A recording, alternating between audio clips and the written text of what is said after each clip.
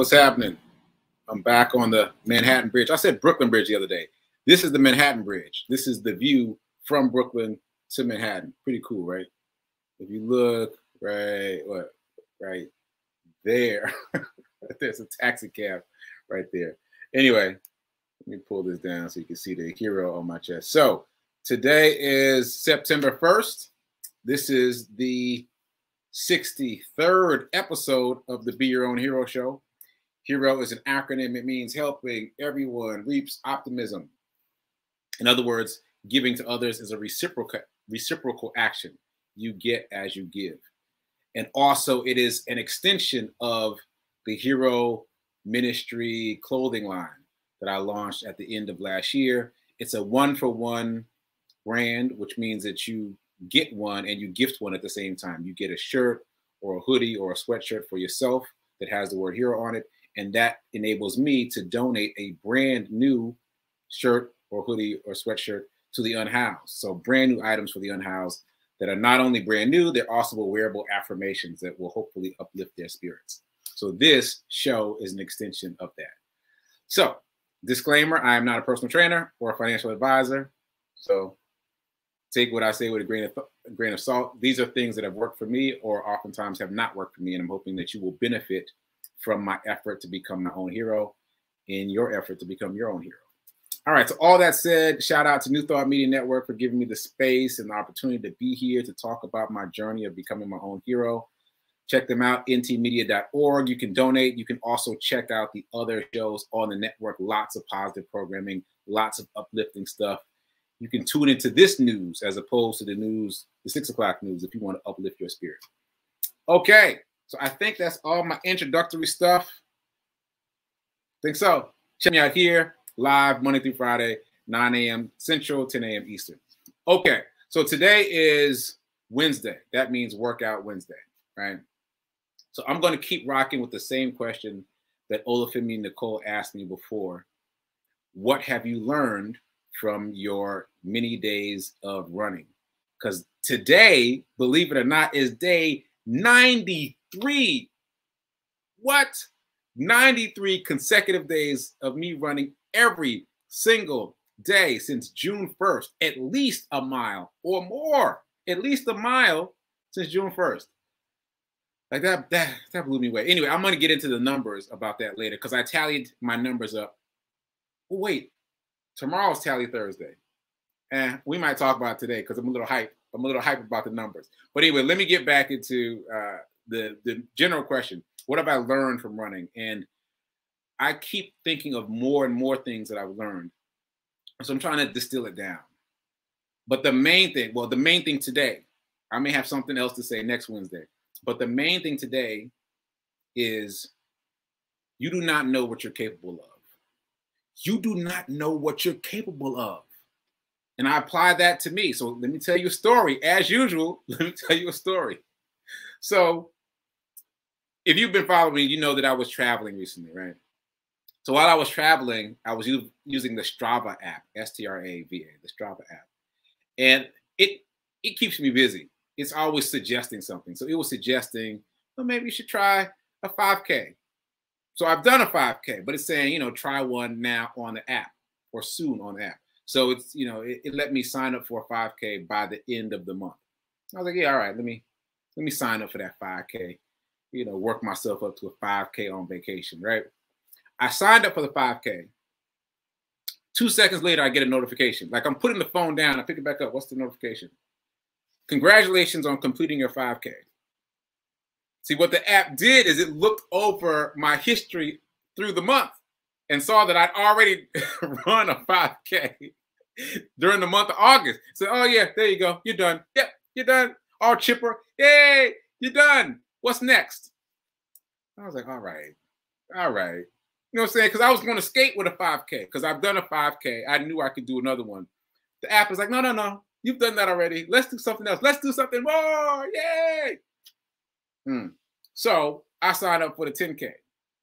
The 10K, obviously, is just double the distance. So a a 5K is 3.1 miles. Emphasis on the 0.1. Because speaking for myself, once I get to three, I'm like, you know, I'm done. I'm done. You got to remember the point one because if you don't get the point one, it's not a 5K. Same thing for the 10K. It's 6.2. Remember that. It's going to come into play later. 6.2.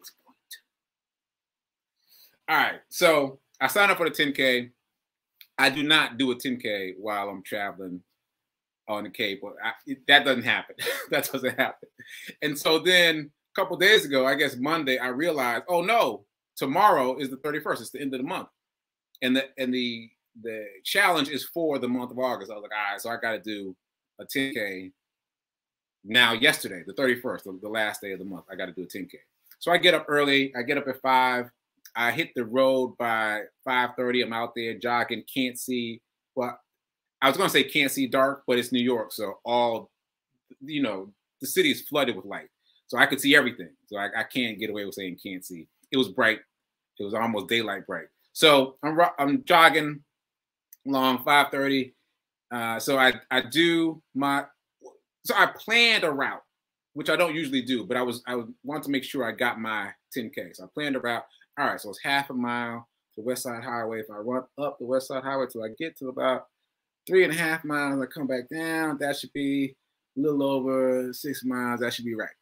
So I did all that, ended my my run, did my little video, my my run report. You got to check out my run reports over on Facebook and Instagram. They're getting to be very popular.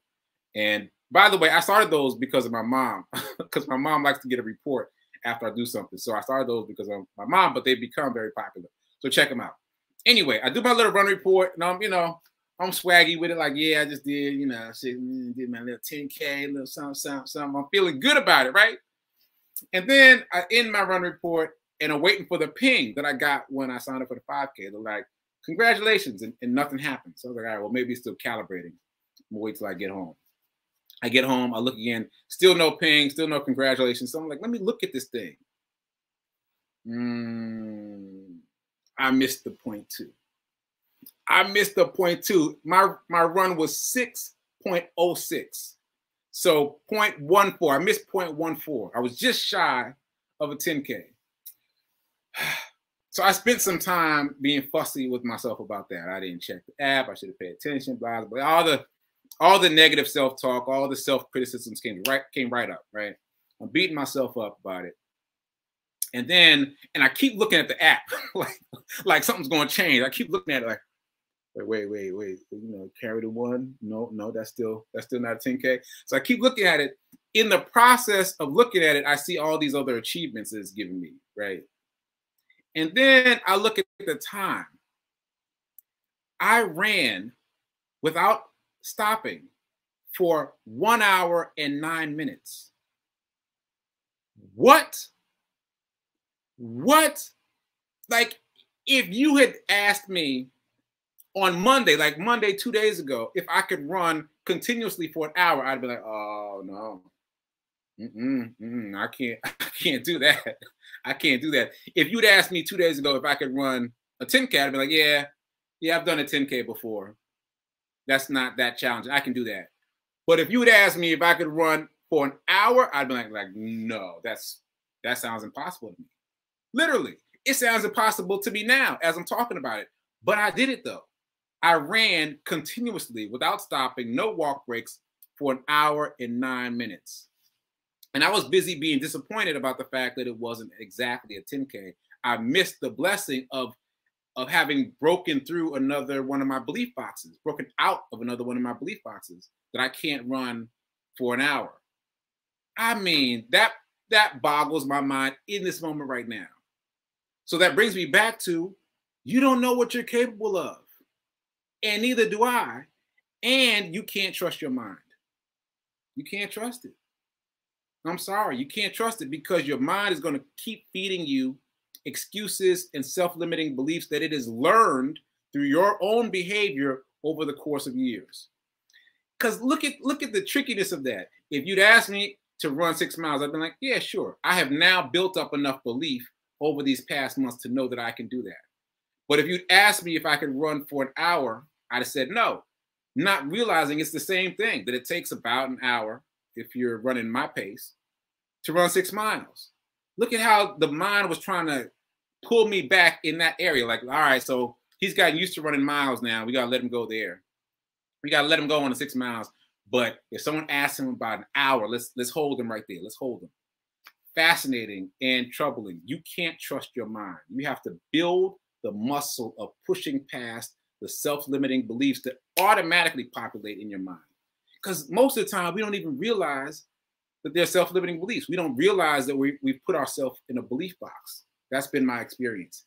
And that has been, I think, the chief, one of the chief experiences of running every day for 93 days, recognizing that I don't know what I'm capable of, that I have to keep pushing what I think are my limits, and that I can't trust my mind. I can't trust my mind. I've got to push past, I've got to treat my mind like a hostile witness. Oh, I can't, I can't run for an hour. Okay. Okay. All right. Yeah, cool. Cool. And then try anyway. You got to push back. And I'm sure that applies to you because that's the way the mind works. Now that I'm reading about neuroscience, it's just it's just the way the mind works. It wants to keep you comfortable and secure. And if you want to get out of being comfortable and secure, you got to push for it. Okay. That's all I got to say about that. I invite you to do something. I invite you to get out there. I invite you to push against the walls of your own belief box, but you won't find the walls unless you try to do something. You got to get up. You got to do something. I'm talking to you. Don't pass the buck. I'm talking to you. Don't just be like, oh, Sekou's doing so much. You do something. You get up. You start moving. The body was designed to be in movement. Like you know how you leave a car for a long time and you come back to it and things are, are wonky, they're not working right. That's because a car was designed to be in movement. Just like a plane. If you leave a plane for a long time, things are not going to be right when you try to fly it again. You've got to keep a plane in movement. Body, plane, car, same thing. They were all designed to be in movement. Move your body. Get up. Move your body. Today's Wednesday. Do something. Workout Wednesday. All right, so I'm, gonna do a little brief commercial break. I'm gonna come back and do the hero no hero news right after this. Maybe.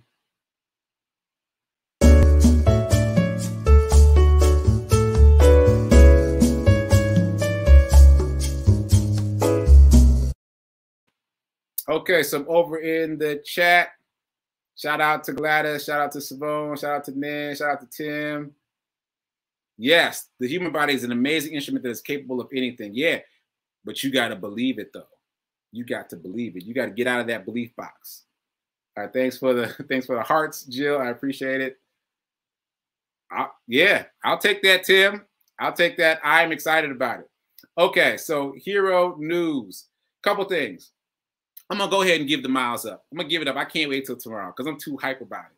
So you already know I've been running 93 days in a row, which is already mind-boggling. But I added up the numbers today. I have run over 234 miles. What? What? Like, I don't know. There's something about the 200 that really blows me away. I was thinking I was around 190. 234 miles so far. So I have adjusted the the pledge over on pledge. Actually, I'm not even going to use that website anymore. Just go to my website and I'll put that up. It's just sekouwrites.com. You go to my website and I I created a link to my charity run uh, campaign from my website. It's right there on the homepage. You can't miss it. So I adjusted the campaign so that it will add up to exactly 500 miles. So from June 1st to December 31st, my goal is to have run 500 miles, and I'm almost halfway, and to have raised $5,000. So that includes the miles I've run thus far and the money I've raised thus far. So thus far, I've run 234 miles and raised about $1,000.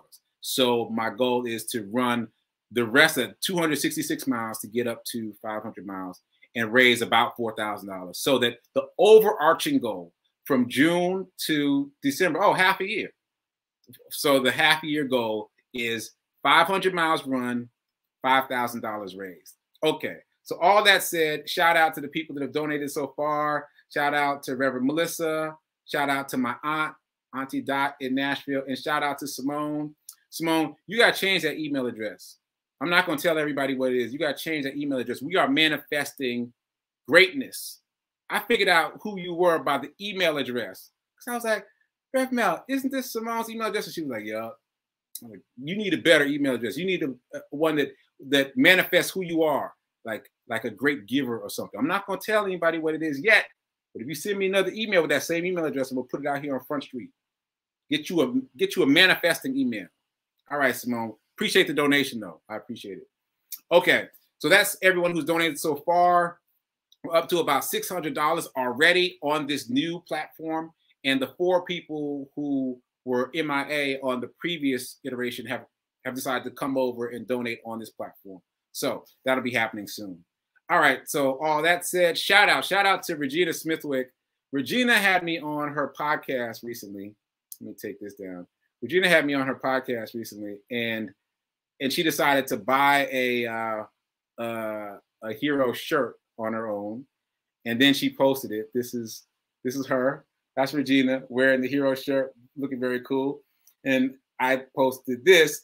Zeta Phi Beta is a part of her name, right? You see that Regina Smith, Zeta Phi Beta. So I posted this, and, and Jacinta, the hero team ambassador in Louisville, Kentucky, reached out to Regina, unbeknownst to me, reached out to her to welcome her to the hero family, which, oh my God, it's a family, and also gave her a shout out because they're both members of the same sorority. So I love the fact that there's this life of the hero ministry that, that is operating beyond me. So I'm very excited about that. If you want to hear the podcast, you can check out Regina's podcast and you can also check out mine because what I did is I downloaded her whole podcast and I put it into mine. So it's one of the most recent episodes of my podcast, which is the Sekou Writes Podcast. If you've been watching this, you know I have two. I have the Sekou Writes Podcast and Get Rich 101. Check both of those out on all the streaming platforms. Okay. Is that it? I think. Yeah, I think that's everything. So I am going to pop out of here. I will be producing Sit with Rev Melissa at 10:30 Eastern, 9:30 Central, and I may be popping in, popping in to say a few words. As you may know, she's in Martha's Vineyard, and I went to visit her, by the way, in Martha's Vineyard, and it's a very very cool place. I haven't been to Martha's Vineyard since I was a kid. It's an island, so you have to take a ferry over there. You can't just drive up. Anyway, she's in Martha's Vineyard, and I'll be producing her show Sit with Rev Melissa in a few minutes. So tune back in for that. And until then, keep doing, be a hero, be your own hero, and remember that now, right now, is better than perfect. Later.